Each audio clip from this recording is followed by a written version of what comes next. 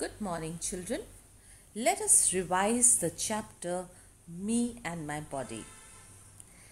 As we grow older, different parts of our body also grow. Our body has three main parts head, trunk, and limbs. The head includes hair, forehead, eyes, nose, ears, mouth, cheeks, and chin. Our trunk includes the chest, the back, the shoulders, and the stomach.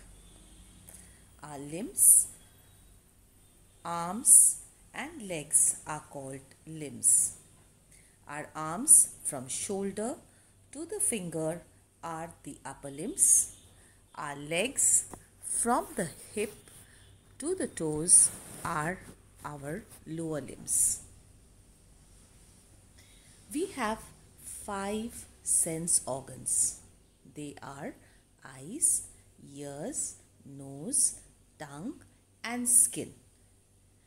These sense organs help us to see, hear, touch, smell, and taste. Uses of our sense organs Eyes. We see things with our eyes. The eyelids and the eyelashes protect our eyes. Nose. Our nose help us to smell things around. Ears. We hear sound with our ears. Tongue. The tongue helps us to taste different food items. Skin. Our body is covered with skin.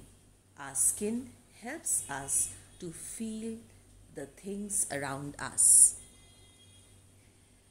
Now let us see how we take care of our sense organs. Eyes. We must not rub our eyes if there is dirt in it. We must wash our eyes with clean and cool water. Ears. We should not use a pin or a stick to clean our ears. Instead, use cotton earbuds. We must avoid listening to loud music. Nose. It is very important to clean our nose while bathing. Do not put anything into your nose. Tongue. We must remember to clean our tongue every day before or after brushing our teeth. Skin. We must bathe every day to keep our skin clean. Wash hands often. It is also important to apply a sunscreen lotion and carry an umbrella before going out in the sun. Children, please watch this video twice for better understanding of the lesson. Thank you.